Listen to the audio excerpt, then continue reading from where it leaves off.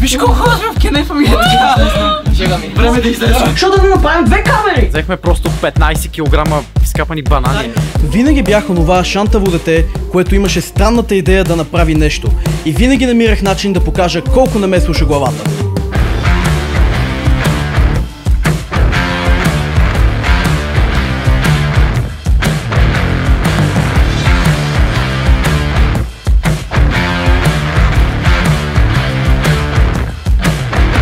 Хареса ми да ходя на събития. Направих свое събитие. Имах нужда от екип. Събрах такъв. На 16 опитах да направя сериал. Направих два двучасови филма как прекарвам лятото си, защото единственото от което имах нужда бе да създавам това, което днес наричам носталгия.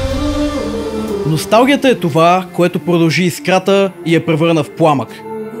Пламък, който само става по-голям. Обичам камерите си, но не защото снимат добре, а защото умеят да улавят всеки миг и вместо избледняващ спомен, той остава запечатан в историята.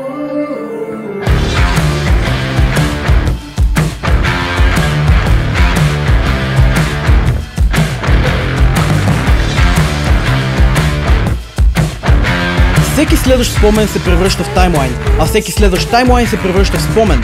Това е парадокса на киното, който ме запали да стана продуцент. Умението да превръщам група непознати в екип с цел създаването на история. Смея да кажа, че няма по-добро изкуство от киното, защото то кара всички изкуства да работят заедно.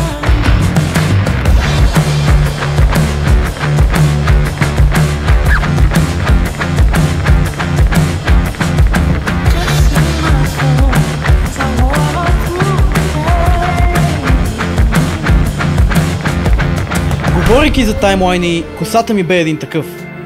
Хващайки я, виждам един таймлайн, върху който са наредени спомените ми. Гледам я и си мисля, когато тази част бе тъкмо израснала, заснех първото си видео. Бях на първия ми комикон. Тук купих първата си камера. Тук бе първата ми целувка. Първото море с приятели. Но като един истински таймлайн е време за експорт.